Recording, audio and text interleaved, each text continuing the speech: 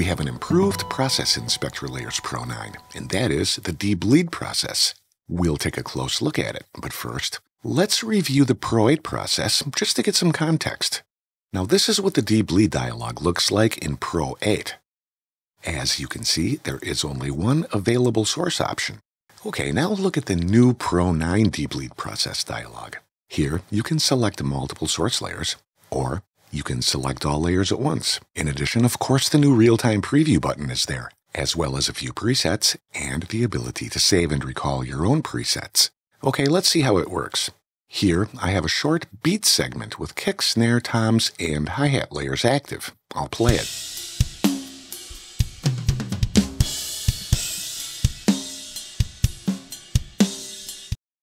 Okay then, let's solo the kick layer.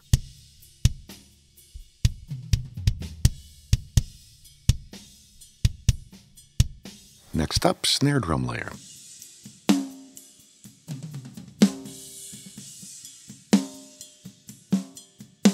And now the toms layer.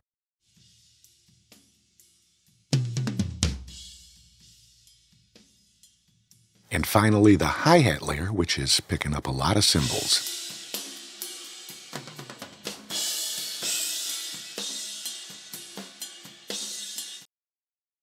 Under the Process menu, select Debleed and the Process dialog appears. Now here, you can see that I have three source options instead of just one. Over here in the Layers panel, when I select the snare layer as the target layer for debleeding, and here I'll solo it, you can see that the options in the dialog box change to conform to the current target. And here I'm selecting the hi-hat layer as the first debleed source. Let's preview the process.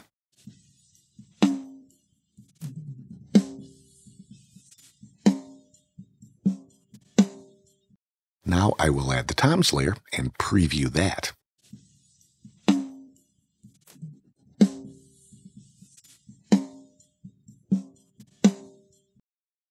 Let's take a look at how the sensitivity control behaves in this case. With the control dialed all the way down, as you might guess, there's very little processing happening.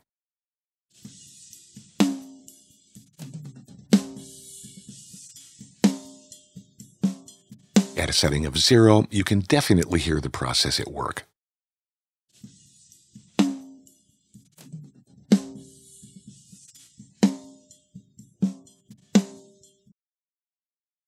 Okay, and back at 1.0, let's review that setting again.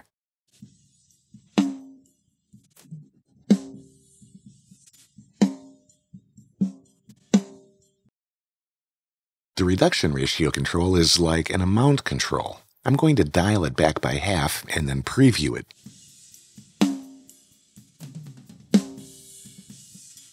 You can both hear and see that less material is being removed from the target. The ability to explore these parameter settings using dynamic spectral processing is really a SpectraLayers highlight. And here I can switch modes and preview only that which will be removed.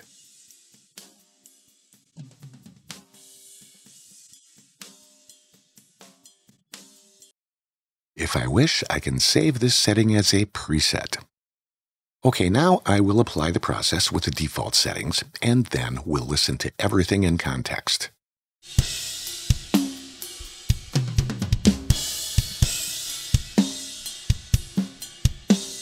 Here, I'm repeatedly undoing and redoing the process.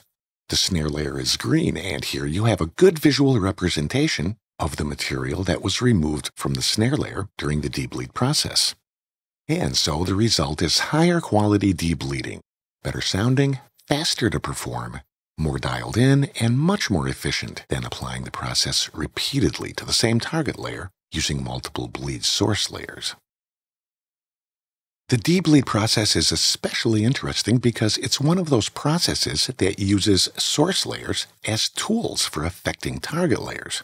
It's analogous to sidechain processing, but it goes far beyond that. Cross-layer processing is a Spectra Layer specialty, with utility for both repair operations and sound design work. To see more cross-layer processing in action, check out these imprint process tutorials on the Steinberg YouTube channel.